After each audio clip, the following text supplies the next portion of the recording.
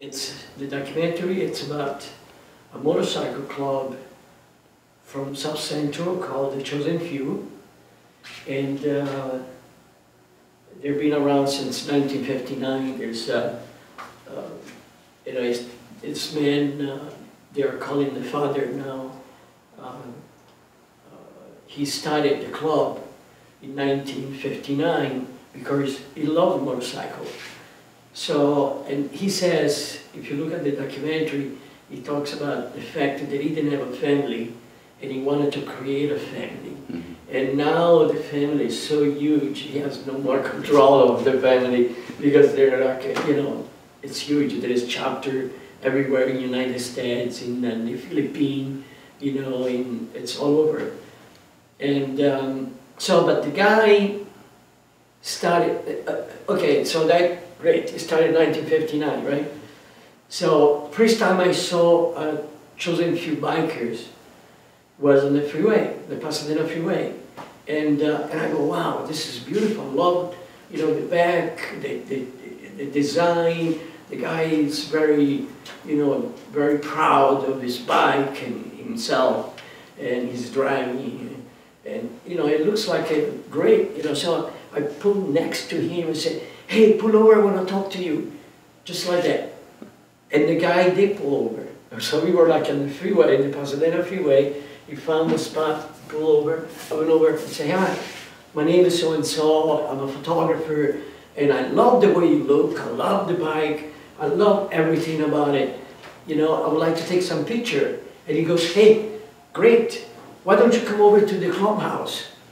And I said, where is located? It's in uh, 108th Street in, in, in South Central. I said, great. I said, come over Sunday. We have a party. And you're welcome to come over and take pictures.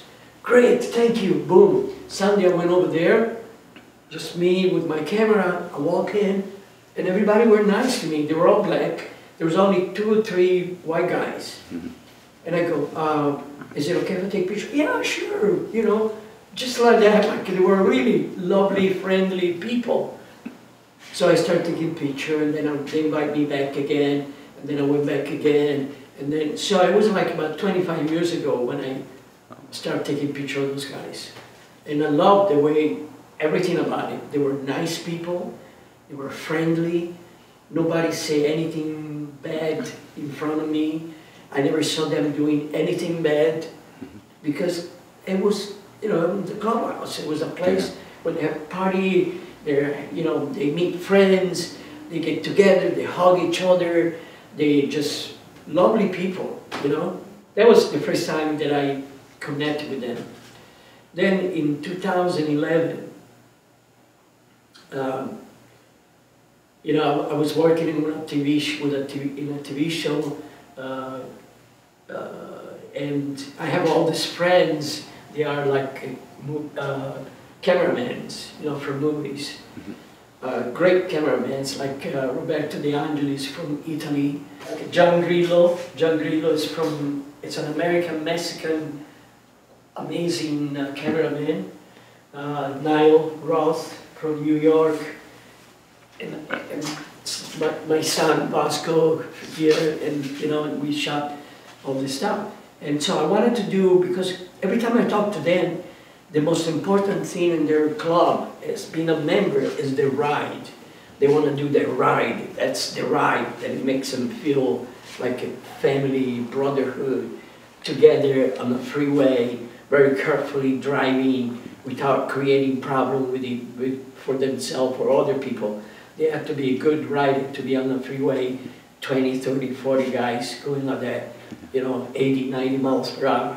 So I said, I want to organize a ride. I talked to the, to the, to the president, and, uh, you know, I said, because you guys keep talking about the ride, I want to see if I can get the feel of the ride. And the guy said, sure, let's do it. So I, you know, I got together with my friend uh, Kurt, that was working with me on this movie project, on the TV project, and I said, Kurt, you know, let's do something like this. He goes, yeah, great, I'll help you. So we all got involved and uh, I, I, did a little uh, scouting for a route that I want to do. So we start from the clubhouse on 108th Street. We went through the uh, uh, Nickerson Garden uh, uh, housing project. Then we went to uh, the Watts Tower. Hmm. We went around the Watts Tower, and then we went back into the freeway. And then we drove all the way to downtown LA, and we got off on, on Third Street, and then we went on the Second Street Tunnel several times because it's huge, it's Yeah. beautiful, the sound and everything. And, and, you know, and I really I start understanding what the ride means for them. Is they feel of riding the motorcycle with a group, not as single, but in a group of 20, 30 bikers and going from one place to another one. It was amazing. So we shot that, looked at it, I said, wow, this is great, we gotta do more of something. Then I start talking to them and they start telling me stories. It's okay, let's go and interview the father. That's the guy that created the place. Then let's interview this guy, let's interview the other guy. Then during the process of interviewing and the time going uh, 2011 to 2014 when we finish, many things started happening with the clubs. Uh, one guy got arrested for PCP. Uh, uh, the police, you know, they, they had to close down the clubhouse because that, and uh, so they were without a clubhouse for almost two years. So they, they felt like a, uh, home, homeless people. The clubhouse wasn't just a place for meeting and having a good time on Sunday. It was also a place where old member, old, like uh, 80 years old, they, they don't even ride the motorcycle anymore. They used to go to the clubhouse to stick together with their friends and be and be there and be, you know, like a unity, a family. You know what I mean? And that disappeared.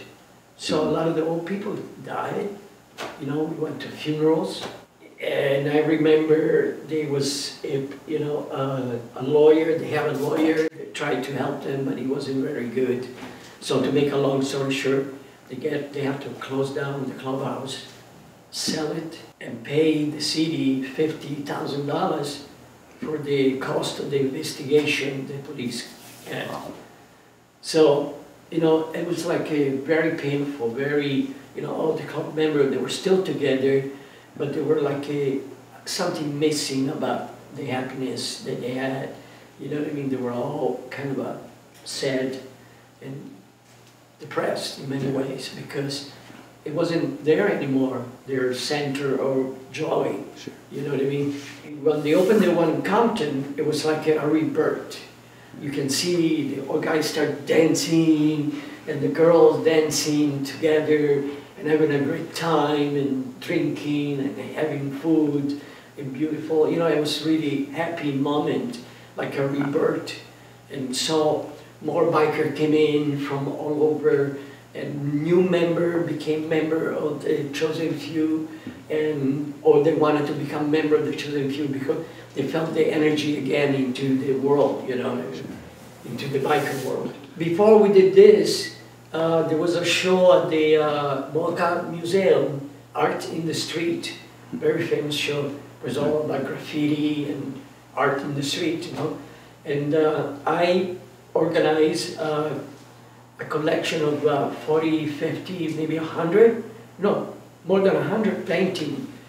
They were inside of the clubhouse in uh, South Central with their like, they were all with the, with the patch of the, of the, of the club, the name of the, uh, of the member, the date, and, and everything, and the nicknames, you know, so it was beautiful. When I showed it to the, uh, to the director of the museum, he said, yeah, this is also important, let's put it in the, in the show.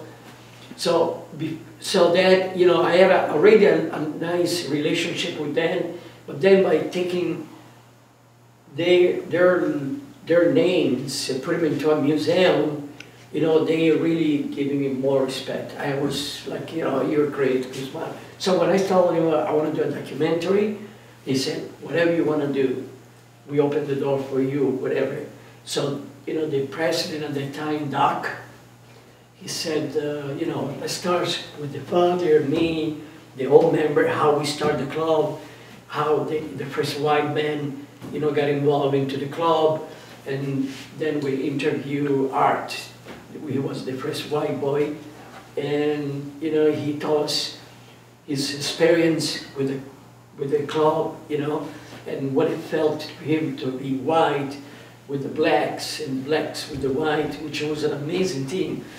But what it really made me do the documentary after the ride was simple as this. I thought about it for a moment and I goes, this is unbelievable. This guy here, you know, uh, Lionel Nicks, the, the father of the chosen few, he started a club, a club in 1959. And then he integrated in 1960 in a very simple, naive, non-intellectual way with a motorcycle. He brought black and white and Mexicans, and there was even a guy from Iran at that time.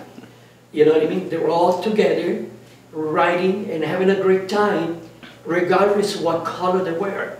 And that was amazing to me because this was before the civil rights movement. This man, the simple man, brilliant, emotionally speaking, he did this by himself with a motorcycle. You know, and then two or three years later, you know, there was Malcolm X and, uh, you know, Luther King. They were all working together hard, trying to, to put the two worlds together. But he did it in a simple way with a motorcycle. And that was like, okay, I gotta do something about this. This is not about motorcycle, it's about the culture of uh, South Central. It's about Los Angeles. It's about individual beauty. The people, they're trying to do what they want to do and be themselves without interfering with the world around them.